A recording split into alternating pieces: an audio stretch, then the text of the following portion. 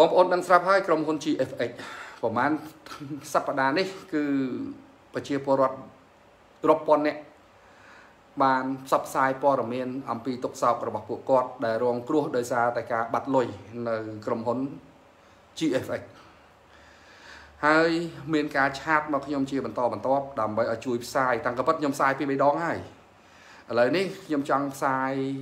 ជំរាបជូនបងប្អូនទៀតដើម្បីកុំឲ្យថាខ្ញុំភ្លេចហើយកុំឲ្យថាខ្ញុំនឹងសុំកលុំមួយគេមួយក្រុមហ៊ុនខ្ញុំសូមអឺជំរាបជូនបងប្អូនអតិថិជនរបស់ GSX ដែលជាអ្នករងគ្រោះសូមជ្រាបថាមកដល់ម៉ោងនេះ យើងមិនទាន់ទទួលព័ត៌មានផ្លូវការណាមួយ ពីក្រុមហ៊ុន ក្នុងការដោះស្រាយបញ្ហាជាមួយបងប្អូនប្រជាពលរដ្ឋទេ ក៏ប៉ុន្តែ តាមប្រភពដែលខ្ញុំទទួលបាន គឺថាក្រុមហ៊ុន កំពុងតែដោះស្រាយបញ្ហាផ្ទៃក្នុង ដើម្បីរកដំណោះស្រាយណាសមស្របមួយជូនប្រជាពលរដ្ឋដែលរងគ្រោះក្នុងការបាត់លុយនេះបាទអញ្ចឹងខ្ញុំសូមជម្រាបជូនឲ្យបងប្អូនទាំងអស់មេត្តាអត់ធ្មត់ហើយរងចាំបន្ត ថាតើក្រុមហ៊ុននឹងដោះស្រាយជូនបងប្អូនដោយរបៀបណាពេលណាណាឥឡូវនេះខ្ញុំក៏មិនទាន់ទទួលព័ត៌មានជាផ្លូវការណាមួយដែរយើងគ្រាន់តែដឹងថាមានតម្រុយនៃការរួមទទួលខុសត្រូវរបស់ក្រុមហ៊ុនដើម្បីសងទៅលើបងប្អូនប្រជាពលរដ្ឋបាទតែការរួមសងកម្រិតណាពេលណាអានឹងអត់តដឹងទេយើងរងចាំតាមដានបន្ត បាទរងចាំតាមដានបន្តបាទហើយចឹងទេខ្ញុំសូមជម្រាបជូនបងប្អូនយើងពាក់ព័ន្ធនឹង GSX នេះសូមនិយាយតែប៉ុណ្ណឹងបាទសូមនិយាយតែប៉ុណ្ណឹងបាទណាសូមឲ្យបងប្អូនយើងអត់ធ្មត់ហើយខ្ញុំសង្ឃឹមថារឿងនេះបានជ្រាបទៅដល់ថ្នាក់លើហើយបងប្អូនកុំអស់សង្ឃឹមបាទខ្ញុំជឿថានឹងមានដំណោះស្រាយជាក់លាក់បាទគ្រាន់តែរងចាំពេលវេលាថាតើដោះស្រាយជូនបងប្អូននៅពេលណា បាទនៅពេលណាតែប៉ុណ្្នឹងទេបាទអញ្ចឹងរឿងយប់នេះខ្ញុំសូមបាននិយាយ3ឥឡូវនេះឈឿនចូលដល់រឿងផ្ទះទឹកបាទផ្ទះទឹកគឺជារឿងរសើបតាំងកពិតសម្រាប់ខ្ញុំខ្ញុំអត់គិតរឿងរសើបទេរឿងយុទ្ធនាការរបស់រដ្ឋបាលរាជធានីភ្នំពេញ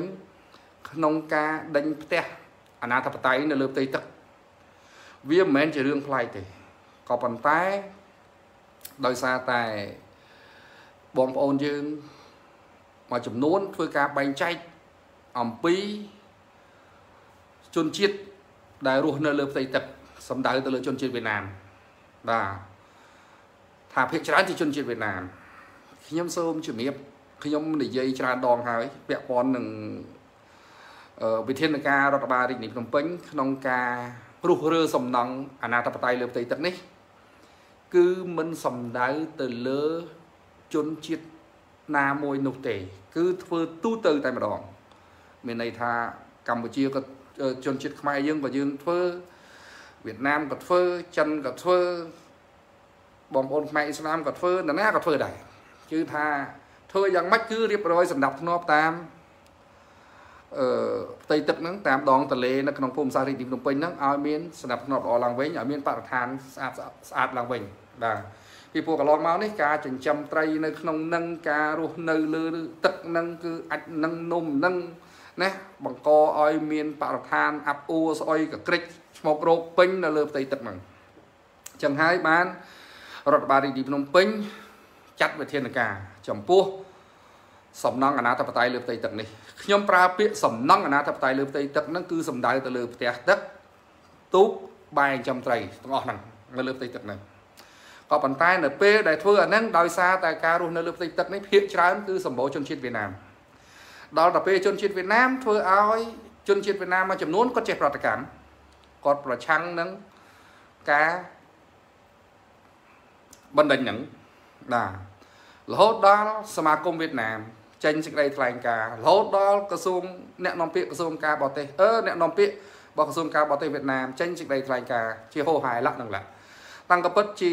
ជានយោបាយការទូតការចេញសេចក្តីថ្លែងការណ៍របស់អឺស្ថានទូតឬរបស់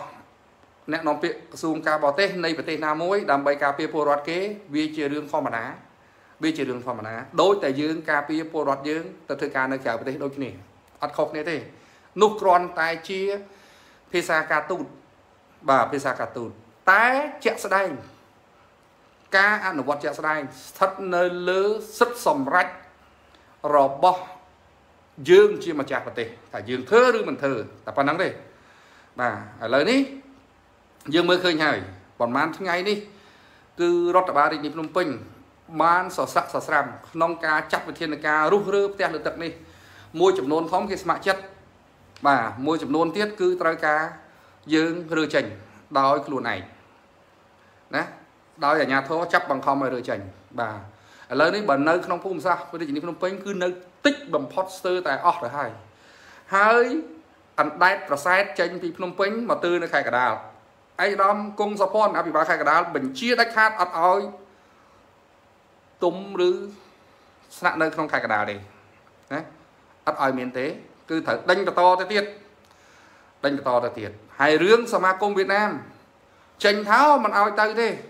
ទៅវៀតណាមពេលហ្នឹងកុំទៅណាអីចេះចុះចឹងឲ្យសមាគមវៀតណាមហ្នឹងគាត់ទិញដីឲ្យនៅទៅបាទឥឡូវខ្ញុំសុំសួរទៅសមាគមវៀតណាមថាតើលោកមានលទ្ធភាពទិញដីឲ្យជនជាតិរបស់លោកនៅទេនឹងទី1ទី2 ខ្ញុំចង់ដឹកដៃលោកប្រធានសមាគមទៅផឹកទឹកដែលគេជួអាចដាក់ហ្នឹងលោកឯងផឹកទេណាលោកឯងផឹកទេប្រធានសមាគមទៅផឹកទេអាគេជួអាចដាក់ផ្លោកផ្លោកឲ្យដងមកផឹកលោកឯងផឹកទេអត់ទេមានតែផឹកទេអញ្ចឹងការបញ្ចេញទស្សនៈការពីជនជាតិរបស់ខ្លួនលោកវាជារឿងមួយត្រឹមត្រូវរបស់លោកតែសម្រាប់ខ្ញុំពួកខ្ញុំម្ចាស់ប្រទេសខ្ញុំត្រូវការពីចំណាត់ការរបស់អាជ្ញាធររាជធានីភ្នំពេញ គ្រប់គ្រងនៅចំណាត់ការបរដ្ឋាភិបាលក្នុងនាមខ្មែរម្ចាស់ផ្ទះបាទអញ្ចឹងជារួមមកដល់ម៉ោងនេះ យើងប្រកាន់ចំហគ្រប់គ្រងដោយគ្មានលក្ខខណ្ឌ